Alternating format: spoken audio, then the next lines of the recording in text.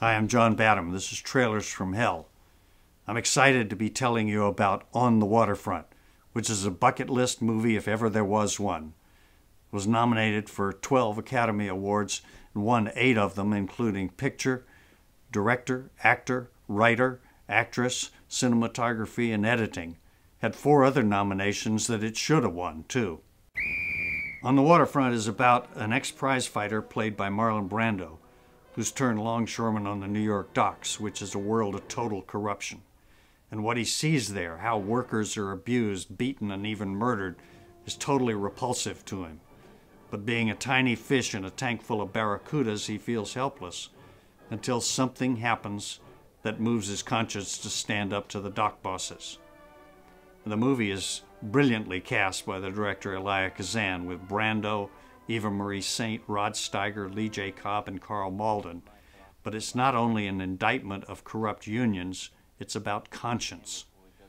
Brando says, Conscience, that stuff can drive you nuts.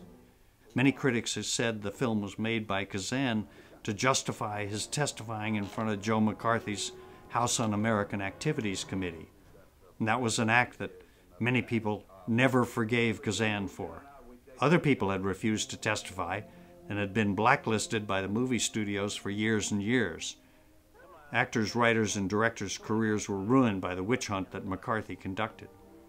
But Kazan testified and named names, and the resentment in the film community was so great that the AFI 30 years later refused to give this brilliant director a Life Achievement Award. The Directors Guild had a little more ability to separate politics and art and gave him a Life Achievement Award in 1987. I mean, one of the great things about this movie is the performance of Marlon Brando as the tortured ex prize fighter, just trying to get along in the brutal world he lives in. If there's a better performance by a man in the history of film in America, I don't know what it is, says Kazan in his memoirs and Brando single handedly changed the face of acting in the world forever. Roger Ebert noted that he cut through decades of screen mannerisms and provided a fresh, alert, quirky acting style that was not realism so much as a kind of heightened riff on reality. No one who's ever seen this film ever forgets the famous I could have been a contender scene in the back of a taxi, where his brother Rod Steiger pulls a gun on him. What's so great about it is Brando's reaction isn't one of fear or shock or even anger.